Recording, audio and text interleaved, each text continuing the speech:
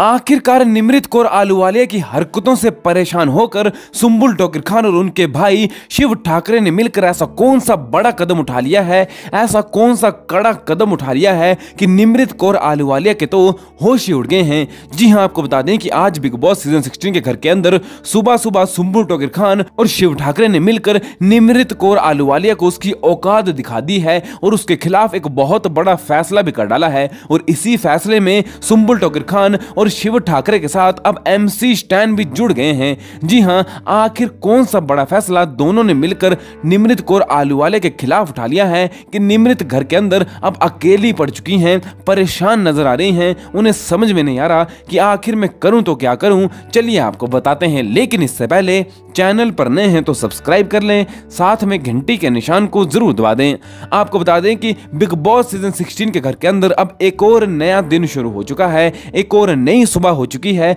और इस नई सुबह के साथ साथ सुंबुल और शिव ने मिलकर निमृत कौर आलूवालिया के खिलाफ एक बहुत बड़ा कदम उठा लिया है। दरअसल आपको बता दें कि बीते दिन जिस तरह से निमृत कौर आलूवालिया ने कैप्टनसी में टास्क में अपनी ही मंडली के सबसे अहम सदस्य यानी एमसी स्टैन को धोखा दिया, फ़ोन करके एमसी स्टैन के बारे में चुगली करते हुए कहा कि घर के अंदर एमसी स्टैन को अगला दावेदार नहीं बनाना है। जी हाँ आपको बता दें कि जिस तरह से निमृत कौर आलूवालिया ने ऐसी हरकत की है। उसी को लेकर आज सुबह सुबह शिव ठाकरे और सुम्बुल टोगर खान बातचीत करते हुए नज़र आए। शिव ठाकरे ने कहा कि मुझे अब यह समझ में आ चुका है कि साजिद सर जो भी निमृत के बारे में कह रहे थे, वो बिल्कुल सच कह रहे थे। सुम्बुल से शिव ठाकरे ने कहा कि साजिद सर कह रहे थे कि निमृत बहुत बड़ी दोगली है, निमृत एक ऐसी कंटेस्टेंट है जो हमें ग्रुप के अंदर भी खेल रही है और ग्रुप के बाहर भी खेलती हुई नज़र आ रही है। वो इस ग्रुप की लीडर बनना चाहती है, इसलिए वो किसी भी हद तक जा सकती है। ऐसे में अब मुझे यह समझ में आ चुका है